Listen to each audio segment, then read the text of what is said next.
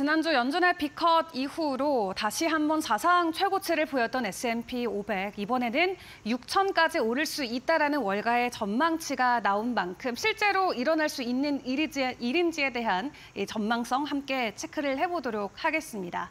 일단 지난 한 달 동안 사실 굉장히 좀 우려감이 섞인 상태로 9월 증시를 저희가 기다렸었죠. 아, 이 시각을 통해서도 9월에 대한 여러 가지 우려감들 함께 여러 차례 나눴던 바 있었는데 요. 사실 지금까지의 시장 상황을 봤을 때 9월 효과 크게 없는 것처럼 느껴지는 것 같기도 합니다. S&P 500은 실제로 5년 만에 최고의 9월을 보내고 있는 중이라고 하고요. 지난 5년 만에 가장 수익률을 가장 좋은 수익률을 보여주고 있는데 이달 들어서만 상승률이 1%를 넘어섰다라고 합니다. S&P 500을 구성하고 있는 11개 섹터를 놓고 보더라도 현재 11개 업종 중에 8개는 과매수 상태에 들어간 모습을 체크 해 보실 수 있겠고요. 그 안에서도 산업이나 소재 그리고 커뮤니케이션 서비스는 극단적 영역에 진입한 모습을 체크해 볼 수 있겠습니다. 분명히 9월이 되기 전까지만 하더라도 9월은 늘 안 좋았기 때문에 이번 9월도 우리가 굉장히 우려해야 된다라면서 겁을 먹고 시작을 했었는데 지금까지의 상황을 보면 굉장히 긍정적인 부분들만 크게 부각이 되고 있는 것 같습니다. 하지만 현실이 정말로 그러할까요? 아, 9월을 놓고 우리가 추가적으로도 점검을 해봐야 되는 부분도 있을 것 같은데요. 일단 지금까지 계속 올라와줬던 만큼 앞으로 발표되는 3분기의 기업들의 분기 실적 발표가 지수단에는 상당 한 변동성을 가지고 올 수 있다라는 전망치도 있고요. 또 계속해서 발표되는 고용과 경기 지표들로 인해서 일단 지수 자체가 위험하고 흔들릴 수 있다라는 월가 시각들도 계속 나오고 있습니다. 기존에 발표가 됐었던 다우존스의 데이터를 확인을 해보면 일단 1928년 이후에 S&P 500의 9월 평균 수익률이 마이너스 1%대였던 것을 기억을 하면서 이 네드 데이비스 리서치가 내놓았던 입장을 또 함께 체크를 해보면 1950년 이후로 9월 하순 한마디로 9월의 마지막 두 주에 아, 수익률이 굉장히 안 좋았다. 얼마나 안 좋았냐면 1년 중에 최악의 두 주였다라는 평가를 많이 받고 있다고 합니다. 한마디로 9월의 첫 번째 주와 두 번째 주는 나름 선방하는 모습을 보이지만 세 번째 주와 네 번째 주의 수익률은 그러하지 못하다라는 게 되겠고요. 일단 이번 주와 다음 주를 준비하고 있는 우리 입장에서는 어느 정도 좀 긴장을 할 수밖에 없는 과거의 데이터가 될 수도 있을 것 같습니다.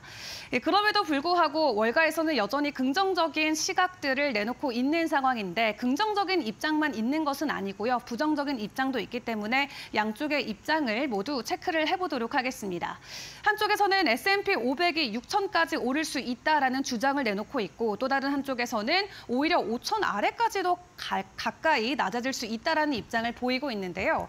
일단 야데니 리서치의 입장을 먼저 보면은 멜트업 한마디로 증시 과열과 관련된 부분에 집중을 하면서 현재 S&P 500의 12개월 선행 주가 수익 비율을 계산을 하면은 21배, 21배 이상까지 상승을 한 상황인데 이를 그대로 다음 연도 그 다음 해까지 넣고 계산을 해보면 2024년에는 5,800선, 2025년에는 6,300, 그리고 오는 2026년에는 S&P 500이 6,800까지 올라갈 수 있는 전망치가 나올 수 있다라고 합니다.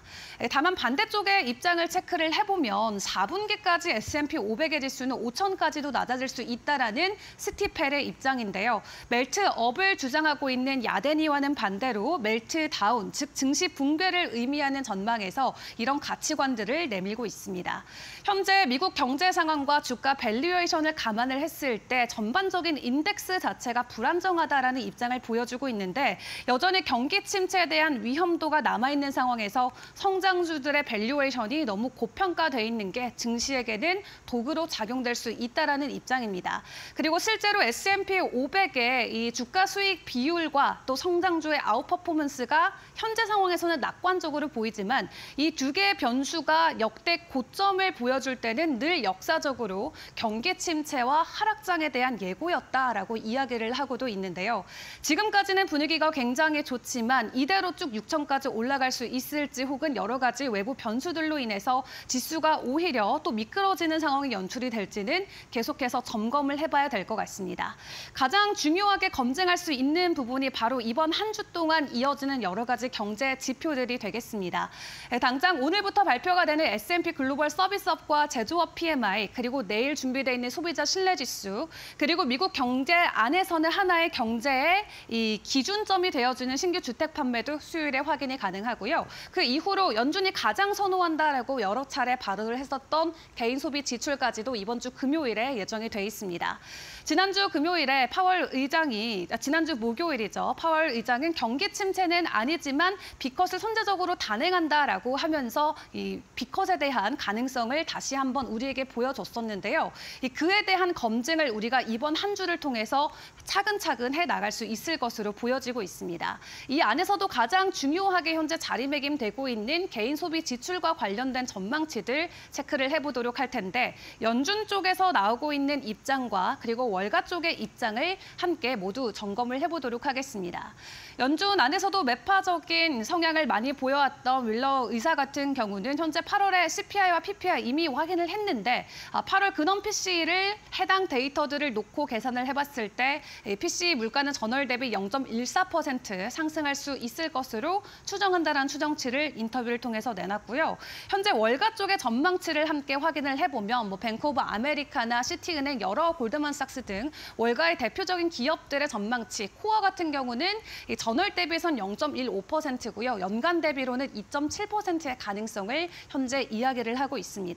연준이 전망을 하고 있던 전망치나 월가의 전망치나 어쨌든 시장에서 예상하고 있는 이 예상치에 부합을 한다 하더라도 다음 FOMC에서 금리 인하는 불가피한 상황이다라는 입장들이 강하게 나오고 있는 상황인데 그렇다면 금리 인하가 지속되는 현재 경제 상황에서 우리는 앞으로 어떤 전략들을 함께 세워 가야 될지도 이 시간 같이 고민을 해보도록 하겠습니다.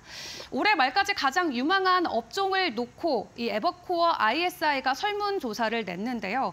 가장 강력하게 나왔던 섹터가 바로 성장주인 IT 섹터이고요. 그리고 또 금리 수혜를 함께 받아갈 수 있는 금융 쪽과 부동산 섹터도 굉장히 긍정적으로 평가가 됐습니다. 그렇다면 실제 월가의 애널리스트들이 담고 있는 최애 업종은 어디가 될지도 설문조사를 통해서 체크가 가능했는데요. 팩트셋이 내놓은 조사 결과를 체크를 해보면 현재 초록색으로 칠해진 부분이 월가에서 적극적으로 매수하고 있는 비율 그리고 노란색은 홀드고 빨간색은 매도 구간으로 체크를 해보시면 될 것 같습니다.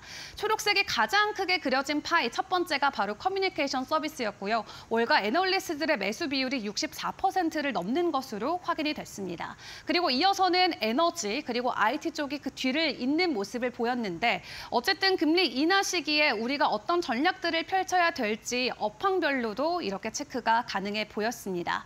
일단 금리 인하가 지속적으로 이어진다라고 했을 때 경기에 대한 여러 가지 자신감들이 추가적으로 올라온다 이런 부분을 놓고 보면은 S&P 500 지수 올해 연말까지 6천 이상까지 올라갈 수 있다라는 가능성에 점점 더 많은 전문가들도 입장을 함께 하고 있는 모습인데요. 다만 오늘의 쌓인 마지막 한 줄은 이렇게 정리를 해볼 수 있을 것 같습니다.